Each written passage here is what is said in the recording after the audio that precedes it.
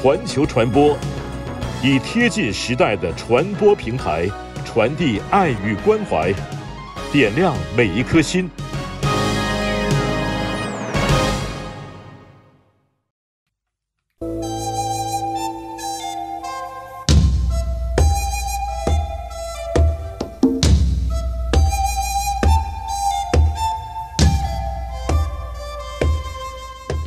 精彩的生命才能唱出泉涌的歌，生命有爱，才不会留白。同唱一首歌，听众朋友平安，环球传播全体同仁在这儿给您拜年啦！祝福每一位听友新春快乐，祝福满满。今天我们要为您送上的诗歌是。赐福在这地，由郑茂柔作词，尤志廷作曲。歌中唱道：“你要以华冠代替灰尘，我献上感恩代替哭泣。你百姓要穿上赞美衣，我的口要欢欣敬拜你。”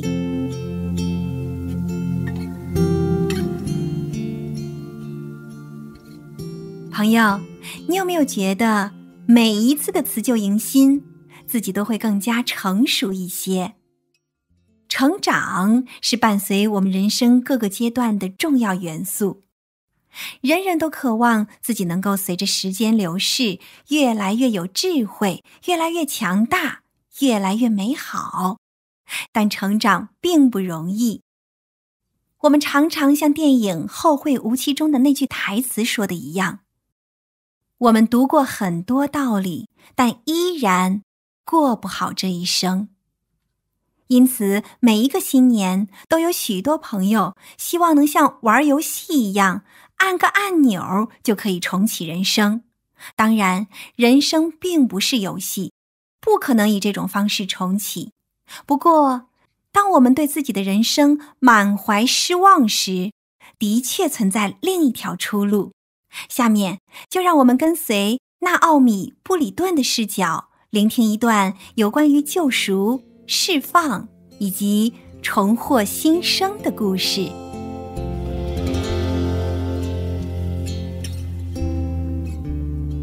在纳奥米·布里顿五岁的时候，他的父母离婚了，但是他一直在脑海中保存着儿时的记忆。那是他认为最美好的时光。他仍记得有一天，他和妈妈在厨房里，爸爸走进来，亲手喂他吃了一口三明治，然后全家人开心大笑。那种被呵护的温馨感觉，他至今难以忘怀。只可惜好景不长，有一天，他的妈妈将所有东西装上车。他坐在车中，茫然无措，只感到一切都不对劲儿。之后，他的母亲再婚，他们和继父生活在一起。后来有一年，他偶然进入当地教会，人生中第一次认识耶稣基督。环球传播，传播主爱，点亮生命。环球传播。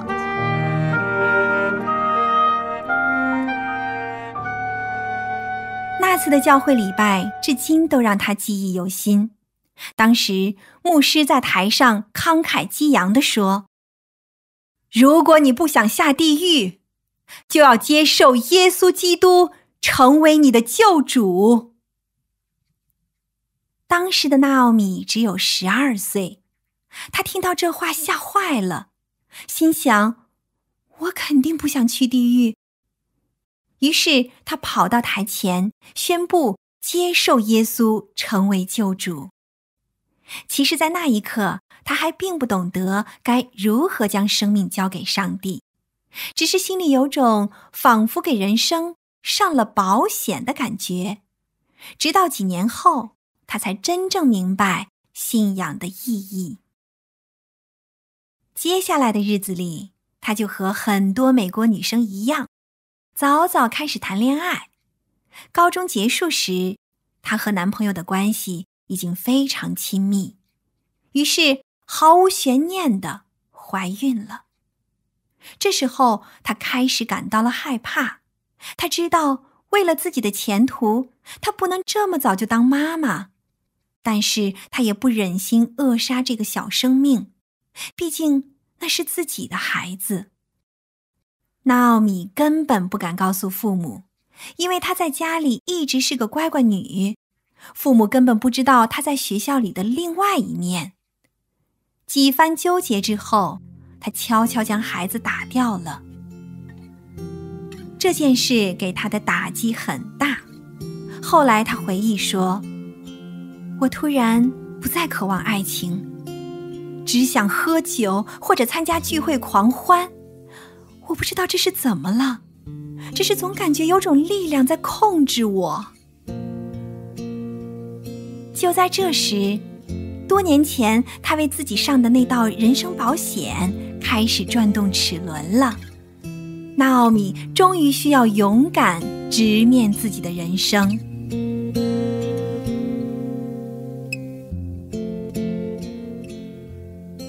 一天早晨，经过一夜狂欢。纳奥米站在镜子前，看着自己一脸烟熏妆和乱糟糟的头发，她感觉那不像自己，更像是一个骷髅。她吓坏了。那一刻，她感觉上帝在对她说：“你站在十字路口了，你要么就是接着过现在的生活，走向死亡；要么你就改变生活，选择我。”纳奥米选择了上帝，他想起了多年前自己接受基督的那一刻。这一次，他把自己的整个生命都交给了上帝，把自己因堕胎而产生的内疚也放到神的手中。如今，纳奥米早已结婚生子了，他时常做见证说：“如果不是恩典。”我不会站在你面前说话。我曾经感觉生命已经被夺走，但后来上帝进来说：“如果你接受我，我会把生命还给你。我会碾碎你所经历的一切不美好，让你每天早上醒来时都知道自己已经摆脱了罪的束缚。”是的，亲爱的朋友，上帝的恩典。足以让每一个愿意改变的人迎来新生。今天，在这万物更新的新春时节，愿你我都能获得这份新生的福气，每一天都不断更新、不断成长，拥有智慧、蒙福的生命。愿神祝福你。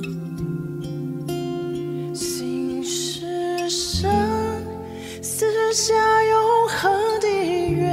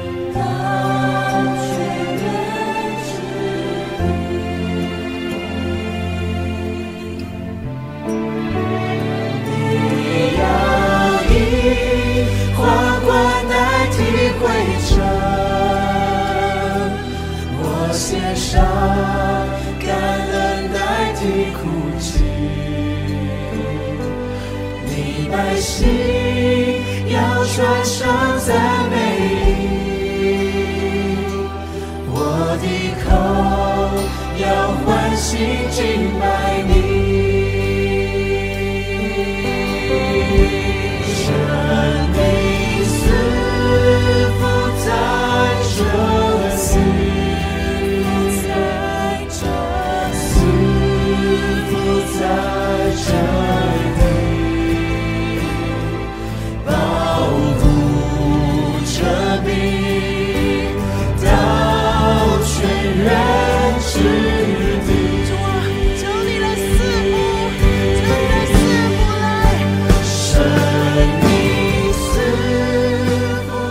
节目由环球传播制作，我们的网址是汉语拼音环球传播点 o r g，盼望您将节目转发出去，祝福更多家人朋友。